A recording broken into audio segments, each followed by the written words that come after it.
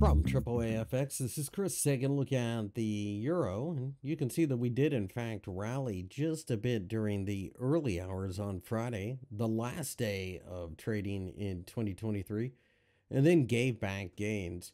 By doing so, it looks like the market more or less doesn't have anywhere to be, and quite frankly, this would not be a huge surprise because there'll be a serious lack of liquidity. Furthermore, I think you also have to keep in mind that the 1.10 level underneath is a viable target for those willing to get involved on some type of dip.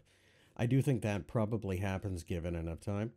So a little bit of a dip underneath there and then a turnaround and rally opens up the possibility of a move to 1.11.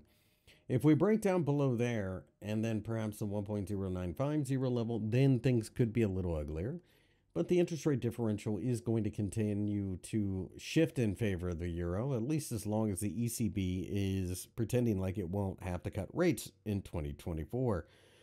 That being said, if we do rally from here, and on a break of the Thursday candlestick, it would be a very strong sign that we're going to continue.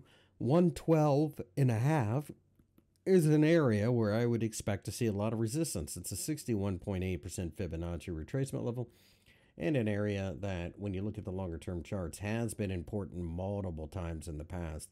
It's worth noting that the weekly candlestick is a little bit of a shooting star. So I do think that we get a little bit of a follow through on the pullback, but I don't necessarily think that we're going to fall apart, at least not anytime soon.